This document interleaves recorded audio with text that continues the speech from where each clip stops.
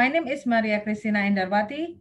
I'm a lecturer in uh, urban and regional planning in National Institute of Technology in East Java in Indonesia, from Indonesia. So uh, what I want to share today is about uh, how difficult that the Indonesian government reduce the zero hunger by defending the land for sustainable agriculture. Mm -hmm. so, because this is, uh, mm -hmm. uh, I got some experience regarding how we defend the sustainable agriculture is quite hard in here. So I want to share, maybe we can discuss uh, maybe from other country, how we must protect the sustainable uh, agriculture for defending the hunger.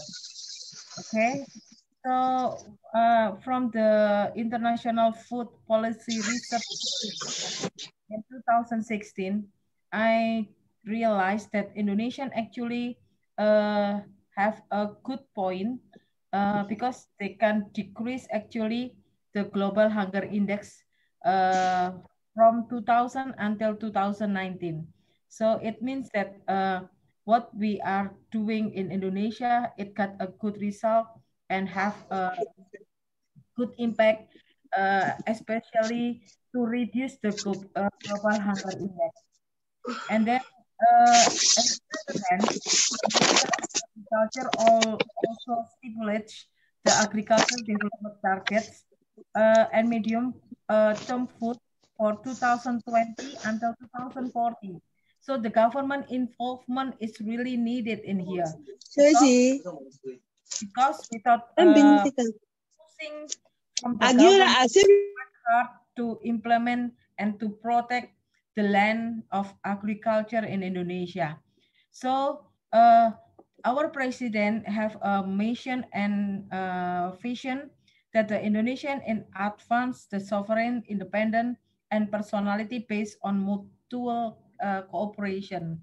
So we have the target and indicator how we are secure our food agency annual uh, performance plan uh, with a five big target uh, that the first is increase uh, in the, distribution agency independent food and then increase management of food insecurity and then uh, the third one is uh, increase food supervision uh, fresh circulation and then increase consumption of vegetable fruit and meat and then the realize on an effective and efficient food security agency bureaucracy bureaucracy now, that's that's the target that we want to try to uh, to resist the agency food in 2020 based on the vision and mission of the our president. And then we have the content of the National Regional Spatial Plan. Uh, this is uh, what the vision of long-term development in our country that put in the economic field that is the main uh, driving force for development along with the neutrality of sources human resources and driving and mutually reinforcing related and mutually integrated with the development of other fields that carry out in tune in harmony and harmony with success of the field development economy in order to achieve the goal and objective of national development. And then the national development uh, direction planning, it's uh, like a kind of how the government direct actually. A national economic development plan is the emphasis on strengthening industrial structure and stabilization of food production. So that's uh, because the, our national uh, development develop, uh, a direction like that. So it must be going top to down to the municipality and the cities to adopt the national direction, uh, development direction.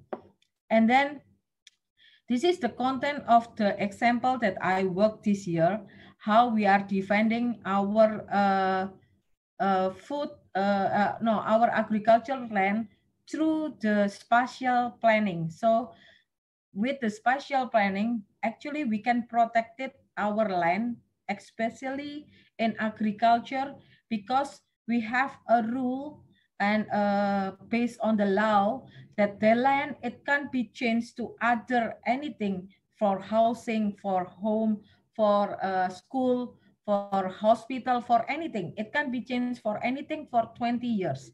So this is why we try to defend our agricultural land through the spatial planning in East Lombok municipality. The area development objectives is defining by some uh, some uh, how we are making that one. It, it based on some criteria that we are making. First, uh, we becoming a mainstay area for agriculture and fisheries, but still focus in production, not processing activities. And then allocation of food uh, agriculture, we call it KP2B. It means that the sustainable land that it can be changed to anything for 20 years and then become a strategic area for agropolitan in Rasimas province. So we must mention the name of the area that it should be protected is a agropolitan area. It means that uh, the city that based on agropolitan uh, or, or agro uh, agriculture uh, production and then agricultural development, it's depend uh, it's based on that one. We call it agropolitan uh, Rasimas. And then we have a potential of animal husbandry, capture fisheries, and cultivation. And then we have also in East Lombok, Rinjani Tourism Area Development. And then it's a big and um, famous mountain in Indonesia, especially in uh, East Lombok, that a lot of tourism come to uh, the East Lombok municipality. And then uh, we have a problem as well that there's some damage the tourism environment in Mount Rinjani National Park and then potential of arterial road development and then uh, not yet even the development on environmental infrastructure for tourism is real less and then earthquake disaster nah that's the problem also in Indonesia. So from the what we are finding the potential and the problem in East Lombok we try to make a what uh, make a point make a point which one is uh, will be uh, what a base for uh, for making the vision and mission of East Lombok Regency spatial planning. So have we have four four four target in there. Uh, center development of agriculture, and then development of tourism, accessibility integration, and disaster mitigation. So we are realizing that uh, development rest of agriculture sector and productive tourism, it should be hand in hand together. Uh, and then uh, it will be strengthened our socially, uh, socially sustainable economy and environment with a mitigation base. And then this is the content of the spatial is uh, Lombok planning. So the build up area, and then this is the Lombok Island.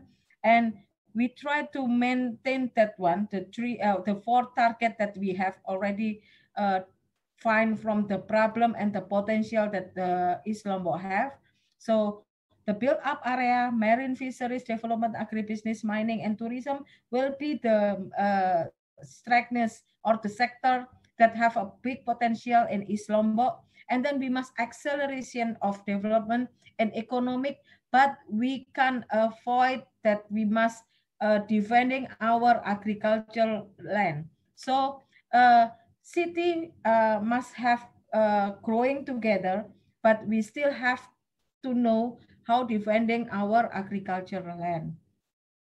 And then this is how we we must uh, make a map for which area that must be uh, restricted or cannot be changed uh, from agriculture to other uh, other function like a built up area. So we cannot, if we are uh, already make which area is already must be protected.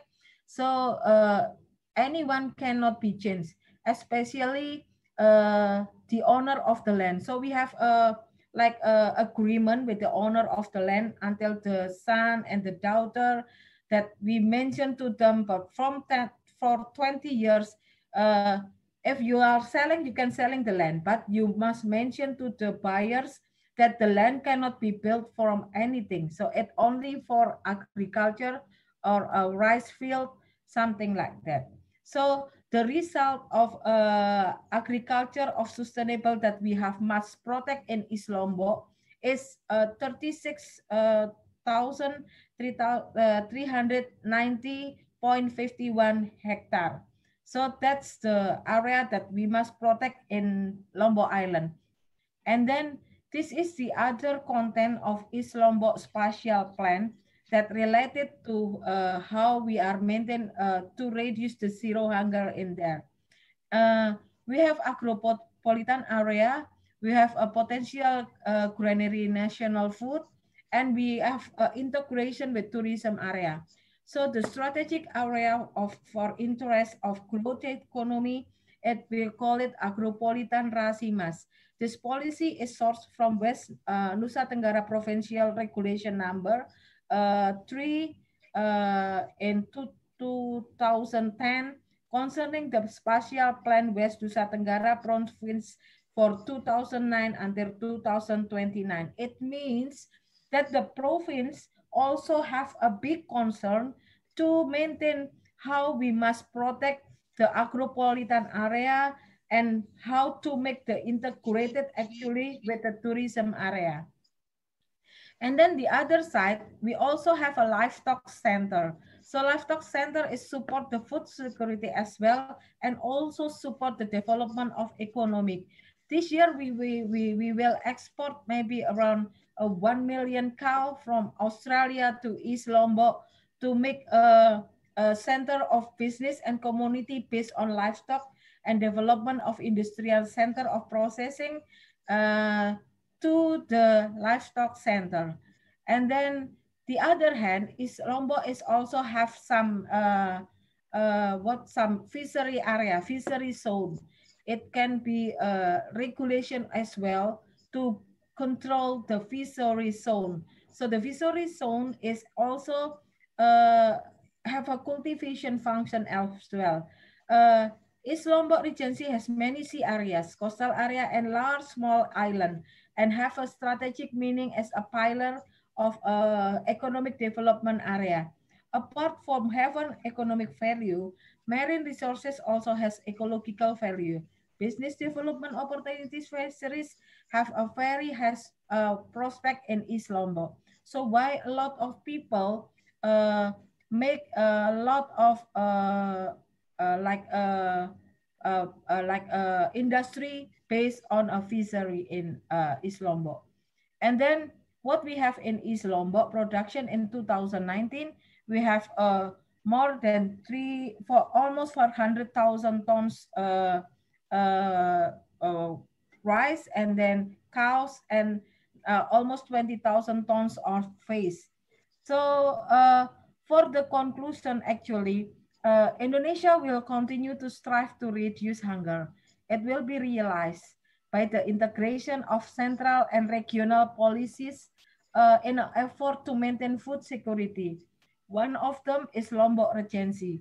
So uh, through the spatial planning, actually, we can uh, protect our agriculture land for building rather than to build the agriculture land to change to the other uh, function like housing and everything. And then this can be seen the fit, firmness of East Lombok Regency is defending its agricultural area to maintain food security and welfare of uh, its people.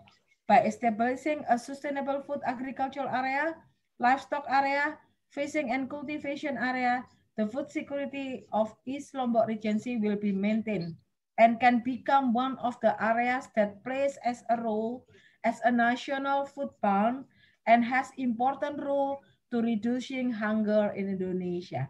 So that that I can share with you all. I hope it can be, uh, we will have a, a light discussion uh, about sharing how uh, your country maybe have a really good uh, what uh, regulation or rule to protect actually the agricultural land because without the land we we can we can we don't have anything thank you good night